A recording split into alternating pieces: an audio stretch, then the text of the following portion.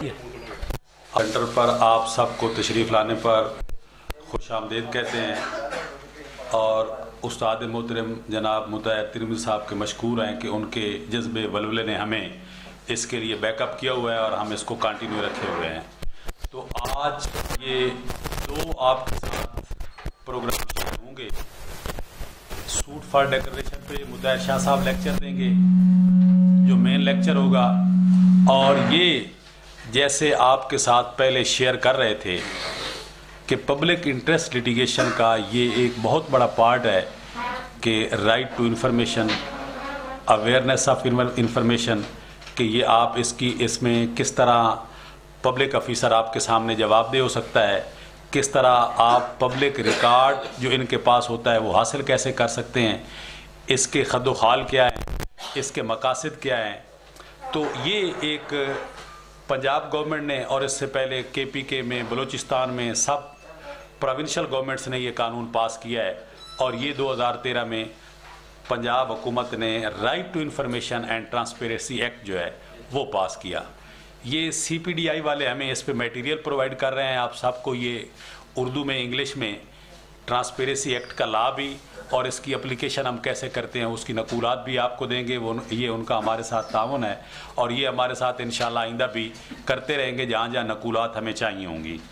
تو یہ دیکھنا یہ ہے کہ معلومات آپ کو فائدہ کیا دیتی ہیں۔ اس کی رسائی کیوں ضروری ہے؟ یہ سب سے پہلے ایک انیس سو ترانوے میں سپریم کورٹ آف پاکستان نے ڈیسیجن دیا، اس وقت تک کوئی ایکٹ نہیں تھا۔ انہوں نے کہا کہ رائٹ ٹو انفارمیشن ہر سٹیزن کا حق ہے۔ جہاں جہاں جمہوری حکومتیں ہیں، وہاں وہاں پبلک کو انفارم کرنا، یہ ان کا حق ہے اور انہیں ان کی نقولات ملنی چاہیے۔ اس کے بعد یہ دنیا میں بھی ایک موومنٹ چلی۔ دو ہزار آٹھ میں کراچی میں سندھ ہائی کورٹ نے ایک ڈیسیجن دیا۔ اس ٹرانسپیریسی ایکٹ سے پہلے information act ordinance two thousand two یہ فیڈرل گورنمنٹ میں آیا کہ وہاں آپ کیسے لے سکتے ہیں نقولات۔ اور اس کا پرپز کیا ہے؟ پرپز یہ ہے کہ یہ ڈیموکریٹک حکومت ہے۔ یہ بائی دا پبلک ہے اور اس کی ذمہ داری ہے کہ آپ ان کی ہر کارکردگی کو چیک بھی کر سکیں۔ جہاں جبر ہے، استداد ہے، جہاں بدعنوانی ہے کرپشن ہے، اس کو بھی آپ چیک کر سکیں۔ اور وہ چیک کرنے کا سب سے بہترین بطور واچ ڈاگ وہ افیکٹو سٹیزن شپ ہے۔ جب تک آپ افیکٹو سٹیزن نہیں ہیں، اس وقت تک آپ کو عمل نہیں ہوگا۔ آپ اس پہ عمل نہیں کر سکیں گے۔ اب اس میں یہ پوری دنیا میں کام ہو رہا ہے۔ گڈ گورننس کے لیے ٹرانسپیرنسی کے لیے، اور اس کے بغیر کہیں بھی، جہاں جہاں بھی ڈارکنیس ہوگی، وہاں وہاں کرپشن بھی ہوگی۔ اور اس کو آپ ہی سب سے زیادہ سوسائٹی کے افیکٹو افراد میں سے بکلا ہیں۔ اور ان کو علم ہونا چاہیے کہ ہم یہ لے کے ہم ان کو کیسے جواب دے کر سکتے ہیں۔ فار دا سیک آف یہ آرگومنٹ یہی ہے کہ اگر ایک محکمہ زراعت ہے اور اس میں عوام کے لیے سبسڈی آئی ہے، تو آپ کو نہیں پتا ہوتا کہ یہ سبسڈی کہاں گئی ہے۔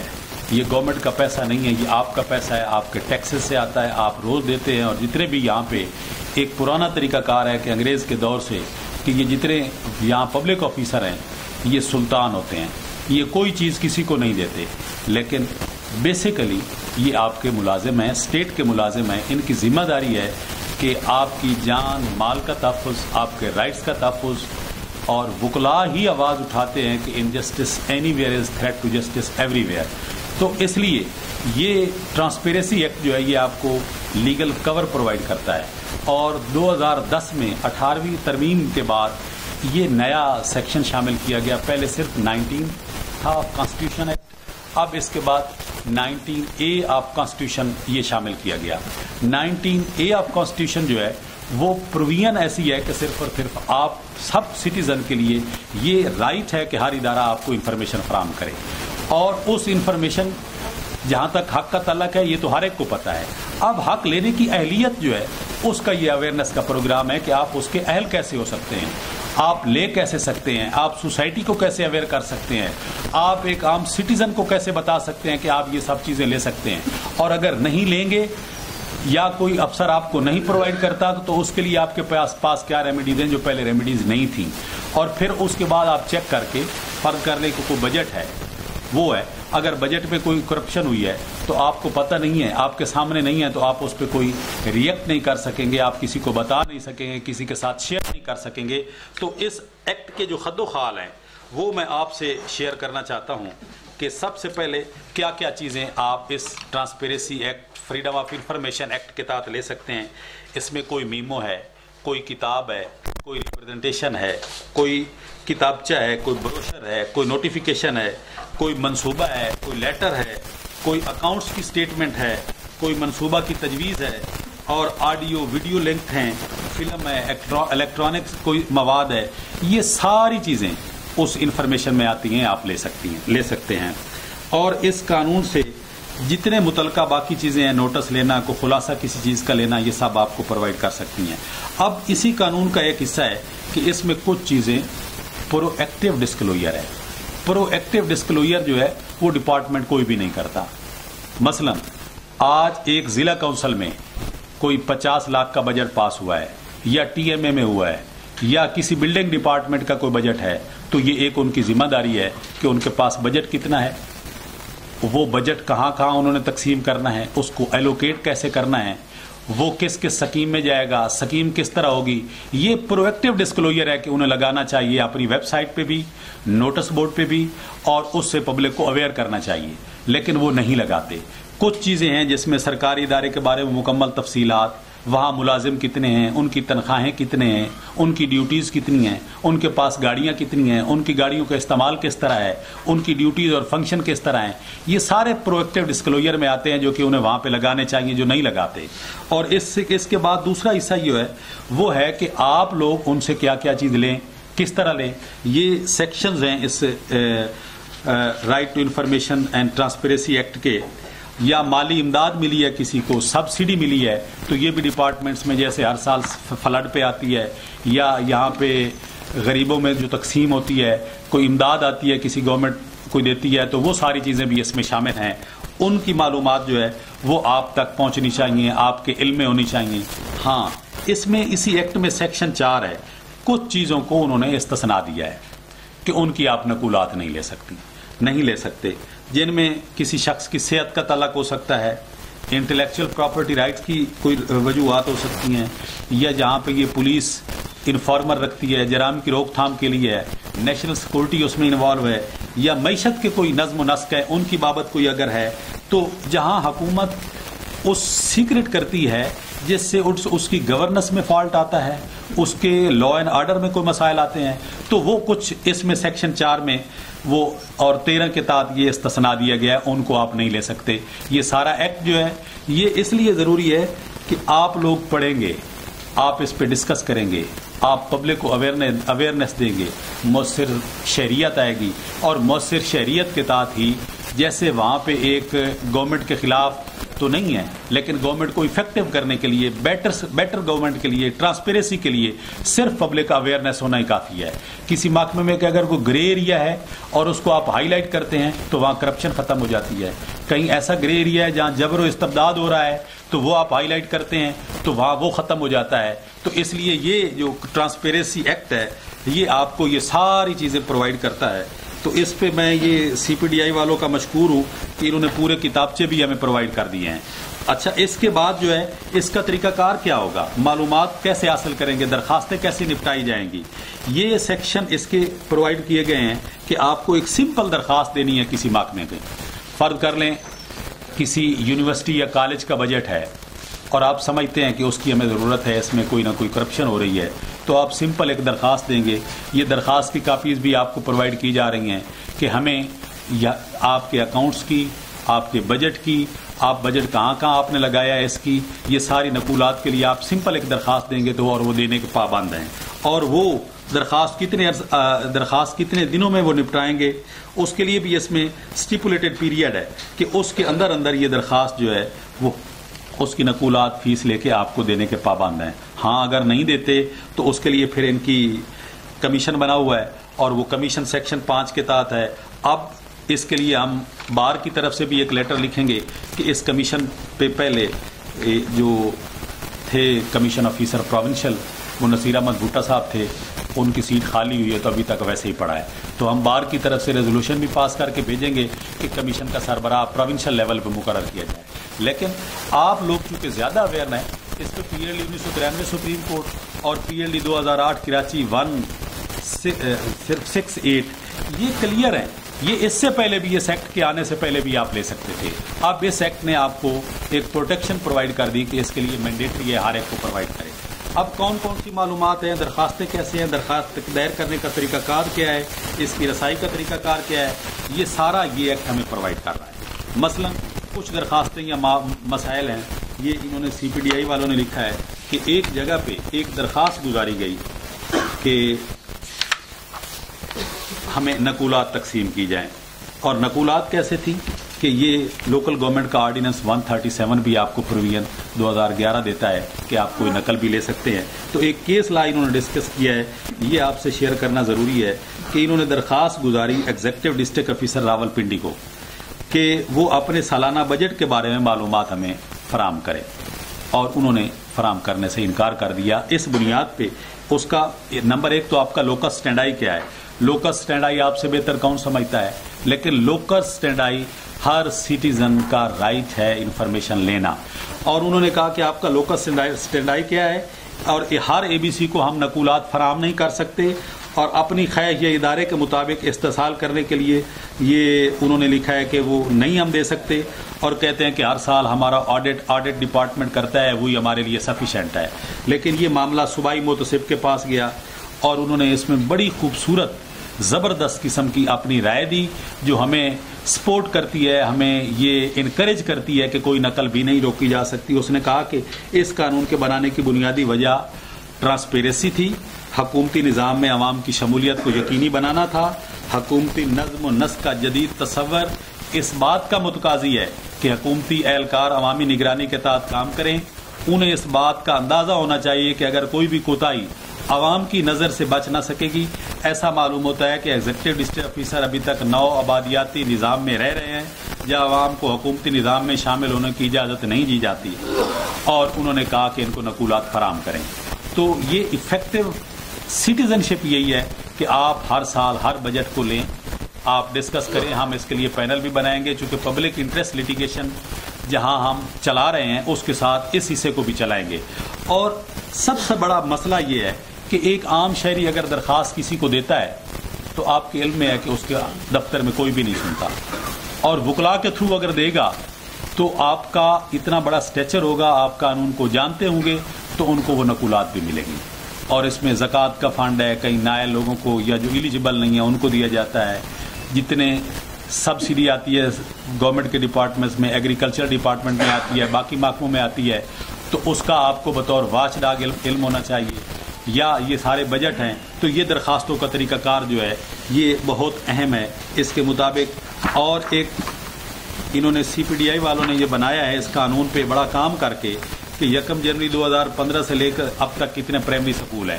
فرق کر لیں۔ یہ طریقہ کار ہے، ربط ہے کہ وہ کتنے ہیں، کام کیا کر رہے ہیں، ریٹائر کتنے ہوئے ہیں، پینشن کس کس کو مل رہی ہے، کس کس کو نہیں مل رہی، کہاں کہاں کرپشن ہو رہی ہے، کہاں کہاں نہیں ہو رہی، یہ آپ اس کے بعد بیٹھ کے ہاں اس میں ایک پرپز ہونا چاہیے کہ کسی کو ہنٹ کرنا پرپز نہیں ہونا چاہیے، کسی کو وکٹمائز کرنا نہیں ہونا چاہیے، کسی کو بلیک میل کرنا نہیں ہونا چاہیے۔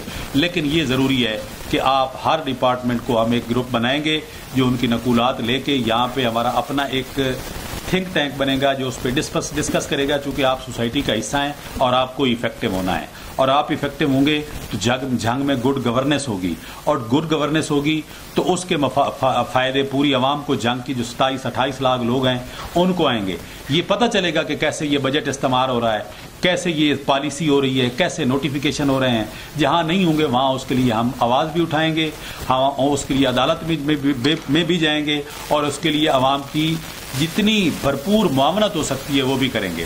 تو میں یہ سمجھتا ہوں کہ یہ ڈومیسائل سے لے کر ماحولیاتی آلودگی سے لے کر کسانوں کی زرعی رہنمائی سے لے کر یہ آگے primary school headquarter D H Q hospital میں کیا امداد ہے، کیسے آئی ہے، دوائیاں کیسے استعمال ہوئی ہیں؟ وہاں پہ کتنے بنیادی مراکز ہیں؟ کتنے لوگ وہاں پہ ڈیوٹی دے رہے ہیں، کتنے نہیں دے رہے؟ یہ ساری چیزیں شہر آپ کا ہے سٹیزن آپ ہیں، سب سے افیکٹو سٹیزن شپ آپ سے ہی شروع ہونی ہے۔ تو میں یہ سمجھتا ہوں، یہ سارا طریقہ کار جو ہے، یہ آپ کے سامنے آئے گا، یہ درخواستیں بھی آپ کے سامنے ہیں۔ تو یہ اوور ویو آپ کے سامنے میں پیش کرنا چاہتا تھا۔ کہ یہ ایکٹ بہت اہم ہے گڈ گورننس کے لیے ٹرانسپیرنسی کے لیے بیٹر انفارمیشن کے لیے اور بیٹر سٹیزن کے لیے۔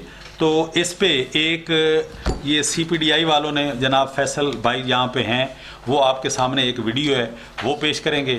تو میں اسی کے ساتھ آپ کی اجازت چاہتا ہوں کوئی کوشچن آنسر اس کے بعد ہو جائے گا، چونکہ بعد میں لیکچر ہے شاہ صاحب کا۔ تو میں چاہتا ہوں کہ یہ آپ کے سامنے فوڈ فار تھاٹ ہے، اس پہ ہم بعد میں بھی ان کے تعاون سے یہ کام کرتے رہیں گے۔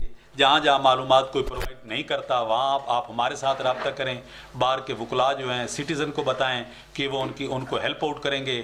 اور ہیلپ آؤٹ کرنے کے ساتھ ساتھ ہم یہ دیکھیں گے کہ ہم میں سے یہ کتنے لوگوں نے یہ کام کیا ہے، کہاں کہاں تک کیا ہے۔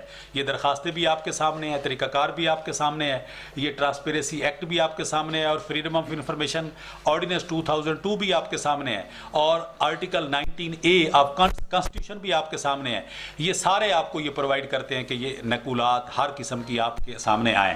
تو پھر اس کے نقولات کے بعد ہم ایک سیشن کریں گے ڈسکس کریں گے کہ ہمیں لیگل اس پہ ریمیڈیز کیا حاصل ہیں، کس طرح ہیں، تو وہ ان کو کریں گے۔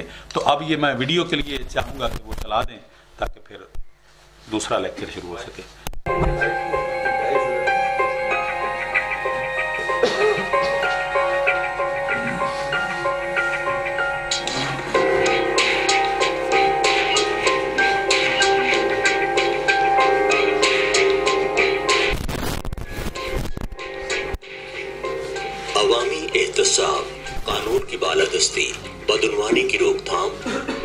مساوی حقوق کی فراہمی کے لیے ایک ایسے قانون کی ضرورت محسوس کی گئی جو ان سب کو یقینی بنا سکے۔ رائٹ انفارمیشن ایک ایسا رائٹ کہا جاتا ہے جو رائٹ کسی بھی جمہوریت میں بہت اس کی اہمیت ہے۔ آپ کوئی بھی فیصلہ کوئی بھی رائے اس ٹائم تک قائم نہیں کر سکتے جب آپ کے پاس معلومات نہیں ہوتی۔ ایک اچھا معلومات تک رسائی کا قانون ہو تو ایک عام آدمی کسی بھی سرکاری ادارے سے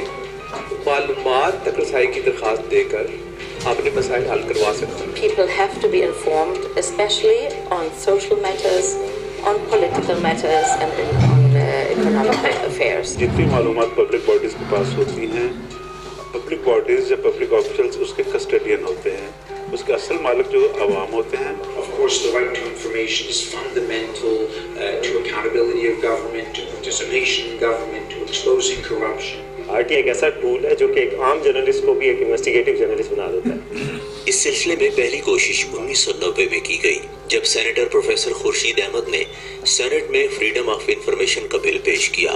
اس کے بعد انیس سو چورانوے میں پبلک اکاؤنٹس کمیٹی کے چیئرمین ملک قاسم نے بھی جد و جہد کی، جو سود مند ثابت نہ ہو سکی۔ انتیس جنوری انیس سو ستانوے کو صدر فاروق خان لغاری نے اس وقت کے وزیر قانون فخر الدین جی ابراہیم کے تیار کردہ مسودے کو آرڈیننس کے طور پر جاری کر دیا۔ فخر بھائی اور ہم نے بیٹھ کے یہ فریڈم آف انفارمیشن ایکٹ پہلا پاکستان کی ہسٹری میں ہم نے بنایا۔ تھا تو میرا اس پہ تجربہ ہے کہ کیسے یہ قانون بنائے جاتے ہیں، کتنی مشکلات راستے میں آتی ہیں، کون اس کو اپوز کرتا ہے اسپیشلی بیوروکریسی اور پولیٹیشینس تو میں آپ کو یہ بتا دوں، ہم نے جو فریڈم آف انفارمیشن ایکٹ بنایا تھا، اس کے اوپر بہت سی پابندیاں ہم ہم پہ لگائی گئی by the bureaucrats foreign office کہتا تھا، ہماری فائلس تو آپ دیکھ ہی نہیں سکتے فارن ریلیشن آ جاتے ہیں. Uh, انٹیلیجنس ایجنسیاں کہتی تھی، سوال ہی پیدا نہیں ہوتا، آپ دکھائیں گے. Bureaucrats grade twenty two twenty one والے کہتے تھے، ہمارے مارجنس کے اوپر جو ہم کمنٹری کرتے ہیں، فیصلے جیسے کرتے ہیں، فیصلے نہیں بتائیں گے کہ یہ فیصلہ کیسے کیا؟ تو پھر رہ کے گیا؟ تو مطلب ہے یہ پابندیاں لگا کے بڑی مشکل سے دھکا لگا کے ہم نے مطلب ہے کہ نائنٹین ففٹی ماڈل قسم کی گاڑی اپنے پاس کر لیکن وہ قانون لیپس ہو گیا چونکہ بعد میں آنے والی الیکٹڈ حکومت نے اس کو انیکٹ نہیں کیا۔ جو وہ آرڈیننس کی صورت میں ظاہر آیا تھا تو اس کو انیکٹ کرنا ضروری تھا۔ دو ہزار ایک میں ایشین ڈیولپمنٹ بینک نے قرضوں کی فراہمی کے لیے معلومات تک رسائی کے لیے قانون سازی کی شرط عائد کر دی۔ جو پیسہ دیتے ہیں تو وہ تو یہ چاہیں گے نا۔ کہ اس پیسے کا حساب کتاب ہو اور اس پیسے کا حساب کتاب تبھی ہو سکتا تھا کہ فریڈم آف انفارمیشن ہو اس ملک میں جہاں پہ پیسہ ڈالا جا رہا ہے۔ یہ وہ پس منظر ہے جس میں فریڈم آف انفارمیشن آرڈیننس اکتوبر دو ہزار دو میں فوجی حکومت نے نافذ کیا۔ ڈونرز وغیرہ کو خوش کرنے کے لیے کوئی لے تو آئے لیکن اس سے کوئی عوامی مسئلہ حل نہیں ہوا۔ مئی دو ہزار چھ میں طے پائے جانے والے بیساکھ جمہوریت میں پاکستان پیپلز پارٹی اور پاکستان مسلم لیگ نون۔ ان دونوں جماعتوں نے عہد کیا کہ وہ اقتدار میں آنے کے بعد فریڈم آف انفارمیشن آرڈیننس دو ہزار دو کی جگہ شہریوں کی معلومات تک رسائی کے لیے ایک مؤثر قانون واضح کریں گے۔ ہم فریڈم آف انفارمیشن ایسا قانون بنائیں گے جس سے صحیح معنوں میں عوام کو ایسی اطلاعات فراہم کرنا ممکن ہو، جس سے بدعنوانی اور کرپشن کو عوامی دباؤ کے ذریعے روکا جا سکے۔ جہاں بہت سارے لوگوں کا یہ خیال تھا کہ فریڈم آف انفارمیشن دو ہزار دو ایک کمزور اور غیر مؤثر قانون ہے وہیں سی پی ڈی آئی اور دیگر سول سوسائٹی گروپ نے اس قانون کو استعمال کرنا شروع کر دیا۔ وزارت خارجہ سے پوچھا، سابق وزیر اعظم گیلانی صاحب کا جو ٹینیور تھا کہ انہوں نے اپنے ٹینیور میں کتنے غیر ملکی دورے کیے ہیں اور قومی خزانے سے اس کے اوپر کتنے اخراجات ہوئے ان معلومات کے مطابق، سابق وزیر اعظم نے اپنے دور میں اکاون غیر ملکی دورے کیے تھے اور اس پہ انچاس کروڑ ستائیس لاکھ قومی خزانے سے وہ خرچ ہوئے۔ ان دوروں کو ہم نے ایک مختلف طریقے سے بیان کیا کہ انہوں نے کتنے کلومیٹر کا فاصلہ طے کیا پھر ہم نے اس کا کوئی اندازہ لگایا کہ چاند پہ جانے کا کتنا فاصلہ ہوتا ہے۔ تو وہ تقریباً یعنی کہ ایک طرح سے چاند تک پہنچ سکتے تھے جتنے انہوں نے دورے کیے۔ تو اس پہ ہم نے ایک رپورٹ کی کہ Gilani flew almost to the moon C P D I نے دو ہزار آٹھ میں فریڈم آف انفارمیشن آرڈیننس دو ہزار دو کے تحت معلومات کی درخواست کے ذریعے پہلی مرتبہ یہ ثابت کیا کہ وزارت اطلاعات و نشریات نہ صرف ایک خفیہ فنڈ چلا رہی تھی بلکہ اسپیشل پبلسٹی فنڈ کے تحت ایک اور فنڈ بھی قائم کر رکھا تھا، جس کو انتہائی رازداری کے ساتھ استعمال کیا جا رہا تھا۔ سی پی ڈی آئی نے اس انفارمیشن ریکویسٹ سے یہ پتہ چلایا کہ وزارت اطلاعات کے پاس ایک خفیہ فنڈ ہوتا ہے اور اس کو اس طریقے سے استعمال کیا جاتا ہے کہ جیسے حکومت وقت کی مرضی ہو اس کا کوئی آڈٹ نہیں ہوتا۔ یہ سیکرٹ فنڈ صرف ایک فنڈ کا نام نہیں ہے۔ یہ ایک مائنڈ سیٹ ہے۔ یہ ہماری سوچ ہے، ہماری ذہنیت ہے۔ ان تمام لوگوں کی جو اقتدار میں ہوتے ہیں، ان تمام صحافیوں کی جو اپنا ذاتی فائدہ اٹھانا چاہتے ہیں۔ سی پی ڈی آئی کی طرف سے سات دسمبر دو ہزار دس کو ڈان نیوز میں پبلک اور پرائیویٹ فنڈ کے نام سے ایک مضمون شائع کیا گیا۔ جس میں حکومتی اداروں میں قائم کیے جانے والے خفیہ فنڈز کے خاتمے کے لیے ملکی سطح پر مہم کو فروغ دیا۔ اس مضمون کی بنا پر ڈان نیوز میں سرکاری اداروں میں قائم کیے جانے والے خفیہ فنڈز کے حوالے سے ایک ٹی وی پروگرام بھی کیا۔ یہ تو صرف ایک پہلو ہے، بہت چھوٹا سا پہلو ہے، ٹپ آف دی آئس برگ ہے۔ ادروائز جو سرکار کے اور حکومت کے وسائل خرچ کیے جاتے ہیں میڈیا کو خریدنے کے لیے اور میڈیا پر اثر انداز ہونے کے لیے اور شہریوں کی آزادی رائے اور اطلاع تک رسائی کے حق کو مارنے کے لیے ان کہانیوں کے اوپر بھی ہمیں توجہ دینا ہوگی۔ ان تمام کاوشوں کا مثبت نتیجہ اس وقت سامنے آیا جب حکومت نے مالی سال دو ہزار تیرہ اور چودہ کا بجٹ بناتے وقت ان تمام غیر ضروری فنڈز کا خاتمہ کر دیا۔ سی پی ڈی آئی نے ملکی سطح پر بڑے پیمانے پر اساتذہ وکلا طالب علموں، سیاسی اور سماجی شخصیات، حتیٰ کہ گلیوں، محلوں میں زندگی بسر کرنے والے عام افراد میں معلومات میں رسائی کے حوالے سے شعور اجاگر کیا۔ سی پی ڈی آئی نے ملک میں معلومات تک رسائی کے حق کے لیے محض مطالبات ہی نہیں، بلکہ وفاقی اور صوبائی حکومتوں کی جانب سے بنائے جانے والے معلومات تک رسائی کے قوانین کے مسودے کے تجزیے بھی کیے۔ سی پی ڈی آئی کے فاؤنڈنگ ڈائریکٹر مختار احمد علی اس پانچ رکنی کمیٹی کا حصہ تھے، جو وزیر اعلیٰ پنجاب نے دو ہزار تیرہ کو معلومات تک رسائی کے مسودے کو حتمی شکل دینے کے لیے تشکیل دی۔ سی پی ڈی آئی کی کاوشیں اس وقت کارآمد ثابت ہوئیں جب اکتیس اکتوبر دو ہزار تیرہ کو خیبر پختونخوا اسمبلی، سولہ دسمبر دو ہزار تیرہ کو پنجاب اسمبلی اور تیرہ مارچ دو ہزار سترہ کو سندھ اسمبلی نے غیر مؤثر قوانین کو منسوخ کر کے مضبوط اور مؤثر رائٹ ٹو انفارمیشن کے قوانین منظور کیے۔ یہ تینوں قوانین عوام کو با اختیار بناتے ہیں۔ کہ وہ سرکاری اداروں کی زیادہ سے زیادہ معلومات تک رسائی رکھ سکتے ہیں۔ یہ قانون بہت اچھا قانون ہے۔ اس میں بہت سی آزادی دی گئی ہے انفارمیشن لینے کی۔ اور یہ اتنی ٹرانسپیرنسی اس میں دی گئی ہے کہ اگر کرپشن ہوتی ہے کمیشن ہوتی ہیں کرپشن ہوتی ہیں رولز بینڈ ہوتے ہیں، تو کس ایکٹ کے تحت ہم ساری انفارمیشن obtain کر سکیں گے؟ ان کو آپ دنیا کے بہترین قوانین کے مقابلے میں رکھ سکتے ہیں۔ ان کے تحت شہریوں کی میکسیمم معلومات رسائی کو یقینی بنایا گیا ہے۔ عوام کو ان کے بنیادی حق یعنی معلومات تک رسائی کے حق کے بارے میں بتانے اور اس کے استعمال کے لیے سی پی ڈی آئی نے کاوشیں شروع کر دیں۔ پنجاب اور خیبر پختونخوا کے شہری اور دیہی علاقوں میں ٹریننگز کا انعقاد کیا گیا۔ کالج اور یونیورسٹی کے طلباء اور طالبات کی معلومات تک رسائی سے آگاہی کے لیے سمر کیمپس منعقد کیے۔ شہریوں کے علاوہ پبلک انفارمیشن آفیسرز کی ٹریننگز بھی کروائی گئیں۔ جس میں ان کو آر ٹی آئی قوانین کے تحت ان کی ذمہ داریوں کے متعلق بتایا گیا۔ بڑے پیمانے پر صحافیوں کے لیے ورک شاپس بھی منعقد کی گئیں، جس میں ان کو یہ بتایا گیا کہ وہ آر ٹی آئی لاس کا استعمال کرتے ہوئے کیسے انویسٹیگیٹو رپورٹنگ کر سکتے ہیں اور اس تناظر میں سالانہ award R T I champion کا بھی آغاز کیا گیا۔ اس ایوارڈ کے ذریعے معلومات تک رسائی کے قوانین کو استعمال کرنے والے صحافیوں اور شہریوں کی حوصلہ افزائی کی جاتی ہے۔ میں نے کے پی کا اور پنجاب کے جو رائٹ انفارمیشن لاز ہیں، ان کو استعمال کیا اور بیسوں ایسی اسٹوریز کی، جس کا کافی امپیکٹ ہوا، لیکن جو ایک اسٹوری اسٹینڈ آؤٹ کرتی ہے، وہ بیسک ہیلتھ یونٹ کے حوالے سے کی۔ میرے گاؤں میں ایک ڈاکٹر نہیں تھا بیسک ہیلتھ یونٹ میں، تو میں نے سوچا کہ پورے پنجاب میں اور پورے کے پی میں کیسے ایسے، کتنے ایسے بی ایچ یوز ہوں گے؟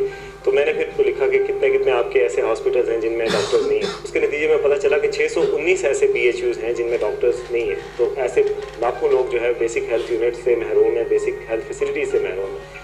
اس کا نتیجہ یہ ہوا کہ پنجاب کے چیف منسٹر نے آرڈر کیا کہ ان ساری فیکنسیز کو فل کیا جائے اور اس کے نتیجے میں جو لاکھوں لوگ ہیں، وہ صحت کی بنیادی سہولیات کی فراہمی ممکن ہوئی وفاقی سطح پر بہتر قانون سازی کے لیے سی پی ڈی آئی نے اپنی کاوشوں کو جاری رکھا اور اس کے نتیجے میں بارہ اکتوبر دو ہزار سترہ کو وفاقی حکومت نے right of access to information act دو ہزار سترہ نافذ کر دیا۔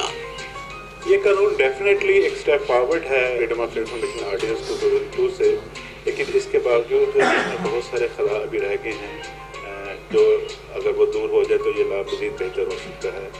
فار ایگزامپل منسٹر کو یہ حق دے دیا گیا ہے کہ وہ جب چاہے کوئی بھی انفارمیشن کو کلاسیفائی کر سکتا ہے۔ اس کے علاوہ دنیا کے جو تمام اچھے قوانین ہوتے ہیں وہ ایک لسٹ آف ایگزیپشن دے دیتے ہیں اور اس کے بعد باقی ساری معلومات جو ہوتی ہیں وہ اوپن ہوتی ہیں ٹو دا پبلک لیکن یہاں پہ جو سیکشن سکس ہے وہ تین چار چیزیں بتا دیتا ہے کہ یہ چیز یہ معلومات ہیں کہ جو حکومتی ادارے آپ کو دیں گے اس کے علاوہ آپ کوئی بھی معلومات نہیں لے سکتے۔ Real improvement in the new law is the establishment of the Information Commission, but there's still some concerns that the scope of the law in terms of the uh, information it covers is, is remains in question.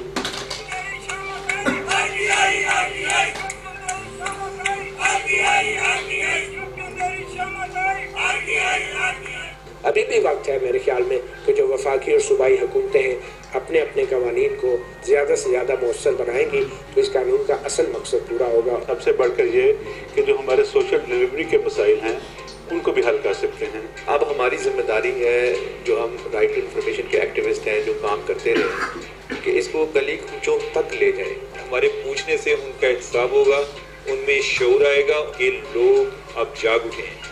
لوگوں کو اپنے حقوق کا پتہ ہے۔ لوگ ہم پہ نظر رکھے ہوئے ہیں۔ لوگوں کو بھی اس کو یوز کرنا چاہیے کیونکہ یہ ایک ایسا رائٹ ہے جس سے باقی بہت سارے رائٹس جڑے ہوئے ہیں اور جمہوریت کے اصل ثمرات عوام تک تب پہنچیں گے جب یہ رائٹ ایکسرسائز کیا جائے گا ہمیں اب یہ انشور کرنا ہوگا کہ جو رائٹ انفارمیشن کا استعمال ہے وہ ایک عام آدمی بھی آرام سے کر سکے کیونکہ معلومات تک رسائی نہ صرف ہمارا حق ہے لیکن ہمارا فرض بھی Nobody will do it for you. You have to do it yourself. اب وہ وقت آ گیا ہے جب ہمیں اپنے حق کا استعمال ایک فرض کے طور پر کرنا ہے